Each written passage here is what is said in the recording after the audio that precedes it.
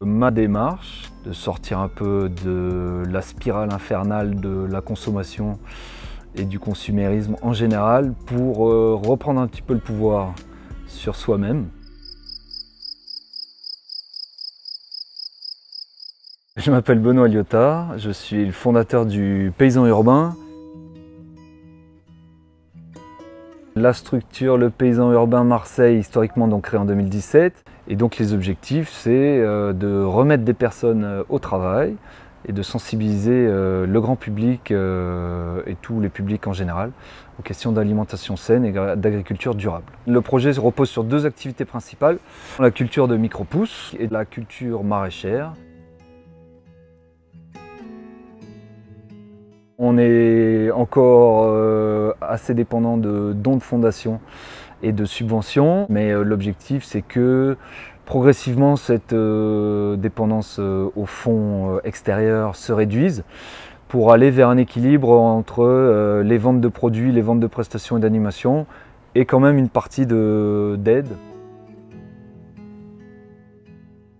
Les deux points un peu fondamentaux du démarrage, c'est trouver un terrain sur lequel s'installer et trouver des financements pour le démarrage justement. Je dirais aussi s'entourer euh, autant que possible, trouver des, des co-porteurs de projets ou des partenaires euh, d'autres structures, ça peut être aussi, mais euh, pas forcément rester tout seul trop longtemps.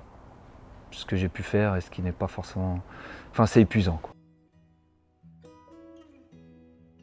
On est à la croisée de trois quartiers prioritaires ici. On veut travailler aussi impact social avec des personnes qui ont le moins accès à l'information et à l'information environnementale en particulier.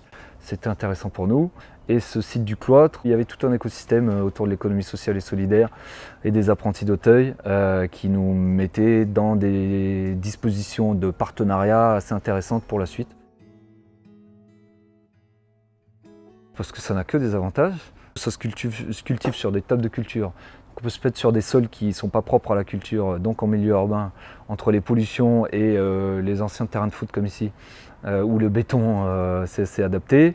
C'est des toutes petites surfaces nécessaires pour une grosse valeur ajoutée. Et également par rapport à l'insertion, parce que c'est des postes de travail qui ne demandent pas forcément beaucoup de compétences techniques.